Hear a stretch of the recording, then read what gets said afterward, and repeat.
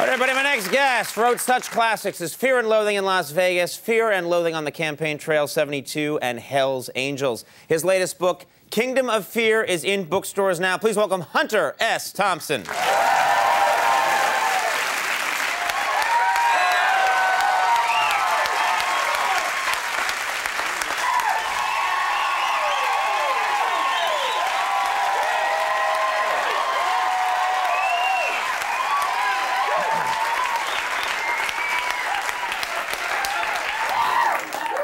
Yeah. Oh. Hi.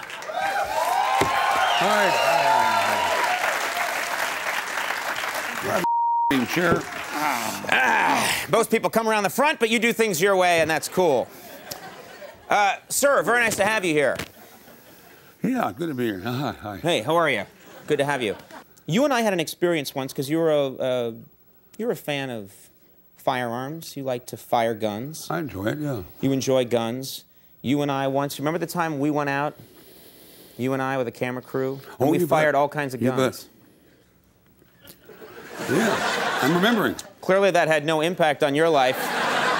That was a big did. moment for me. Oh, no, it was Did fun. you? I- I what was your other night. impression of me? Did you think I was a good shot? Let's talk about me. You, how, how was I as a How was I as a marksman? What'd you think? Me, me, me. Yeah. All right. Uh,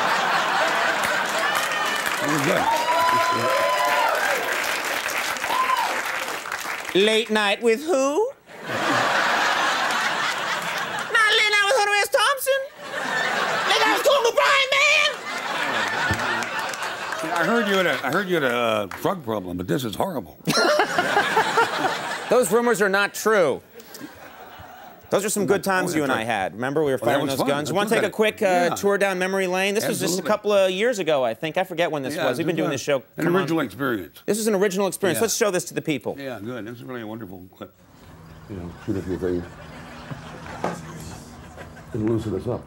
Yeah. I'm gonna go throw up.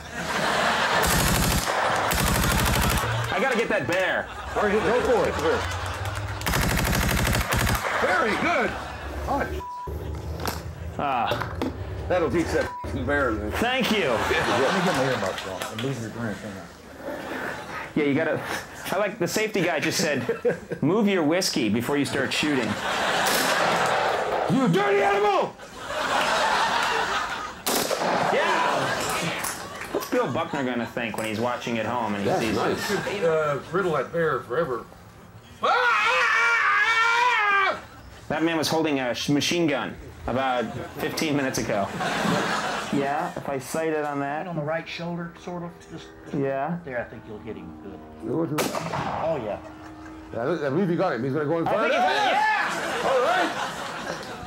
Go, man. Who can look at this and say war is not horrible?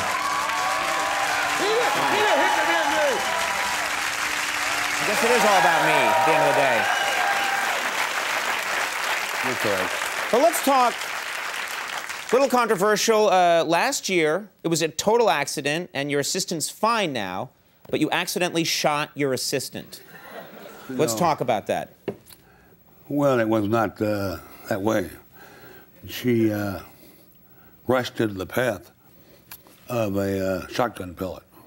So you were shooting a shotgun, and your assistant happened to be in the way. I was shooting at a bear in front of her door, and uh, There's a there's a bear in front of her door. Uh-huh. yeah, everyone else, you know. And uh, yeah, I called her and said, "Don't go out your door. There's a bear there." And I, yeah, I was pissed off. Uh, Anita got me out of bed and said there's a bear outside. That.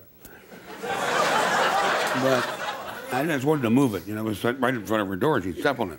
Did you think for a second of using the McConaughey method of rushing the bear and hugging it and caressing it? no, this is your method. is quite different. Well, mine works. Yeah, yeah. so you, so you shot you shot at the bear, and, and what happened? She came out her door around the same time. Well, uh, instead of uh, you know not opening her door like some you know the, the reverse thing like do not touch wet paint, Yeah. uh, bang right out the door just as I pull the trigger. And I, I don't shoot at the bear; I shoot at the gravel right underneath him. So the rocks bounce up and it gets him and stings him in the ass, but it doesn't. Uh, doesn't hurt the bear. No, no. Yeah, he got up kind of annoyed and lumbered off. But just as I pulled the trigger, Deborah stepped out her door and bang, you know, bounce here, bounce there. So, yeah, I think two pellets. It embarrassed me, embarrassed me, ruined my safety record. Yeah. Yeah, what a terrible thing for you. but your assistant's fine now. Everything's Oh, yeah, fine. It all got. She was fine in an hour, yeah. It, Uh, it made a lot of headlines and people got Yeah. excited. I wanted to kill the bitch. I lured her out there and. yeah. yeah, that. Now, you've been portrayed in film not just once, but twice. Johnny Depp played you in, in Fear and Loathing in Las Vegas. Uh, and apparently, he, uh, he practically lived with you and shadowed your every footstep so that he could learn how to be Hunter S. Thompson. Is that true? Yeah, yeah. Yeah, he, uh, he came up there. Damn it. What's the matter? Never mind, never mind. Uh, hey, you see my shoes there? I want you to get these things. Yes, Yeah. thank you. I made these shoes. You made those? I made them, yeah. You didn't make those. Those have those have the Nike swoosh on them. you didn't make those. Hold that up. Why, why, if you're making those shoes, why are you putting the Nike swoosh on them? Yeah, it kind of has a panache to it, you know. Yeah. style, yeah. Yeah, I made Yeah. this myself. It's pretty nice. Oh, Man, that nice? I made that. Something I like to wear. Yeah, uh, I have a bracelet or two. Yeah, yeah. Well, I like to. So, so Johnny Depp, he lived with you, and Oh, he. yeah, yeah, it was weird. yeah. A serious actor apparently will, uh, well, I, yeah, Johnny is serious. But the bastard moved in, we had him uh, uh, in kind of a, a cell in the basement. Johnny Depp slept in your basement. Yeah, yeah, you know, you know, our, uh, the guest room sort of, but it's a Yeah. dark, dark place. It has all kind of books in it, and also Uh-huh. had. He discovered a uh, a keg of uh, dynamite, or no, flash powder, actually gunpowder, right next to his bed. What was dynamite? What was dynamite doing next to his bed? Why do you have all this dynamite? Well, for bombs. Uh oh. No, I'm just. Damn. You're gonna be making some bombs. It's good to have dynamite around.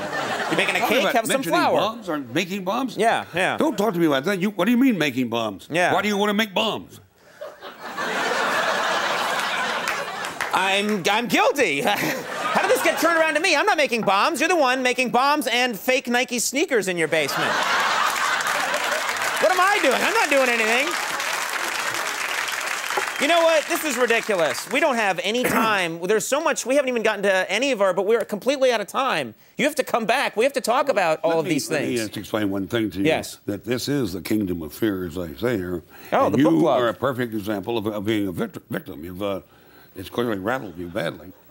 And, uh, I am a victim? Yeah. Why? How do you say I'm a victim? How am I a victim? Look at me. I'm happy go lucky. I'm a happy guy. Yeah, me too. Yeah, that's good.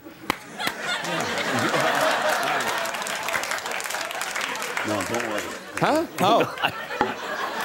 you just touched me. I know, no, I, and I liked it. Uh, Kingdom of Fear by Hunter S. Thompson uh, is out there right now. Go out and get this book. Sir, thank you very much for being here, for making time for us. We'll take a break, everybody. We'll be right back. Stick around.